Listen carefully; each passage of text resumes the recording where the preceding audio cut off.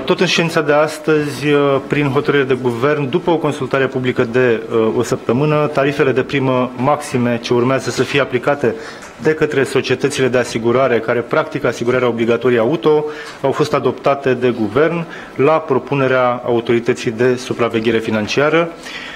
Tarifele de primă maxim, maxime se vor aplica de către societățile de asigurare care practică asigurarea RCA o perioadă de șase luni de la intrarea în vigoare a hotărârii Guvernului.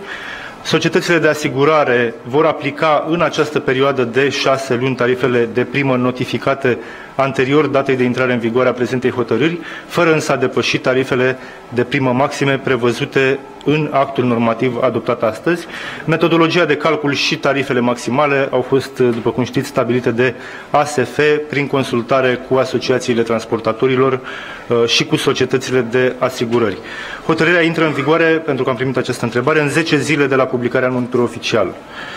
Uh, e important, sunt scăderi de tarife și uh, ați văzut probabil care sunt aceste tarife, sunt, sunt publice, au fost în consultare publică.